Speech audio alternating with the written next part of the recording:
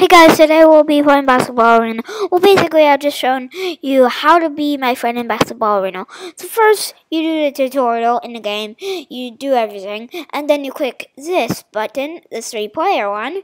Then you go on Add Friend. Then you type in my name. It is Mr. Cade Pro. You search it. Well, it doesn't show anything because I'm Mr. Cade Pro, and then you just friend me, and I'll probably request you. But um, basically, this video is for Nathan, and I hope you be, be my friend, Nathan, and I hope you watch this video. Bye.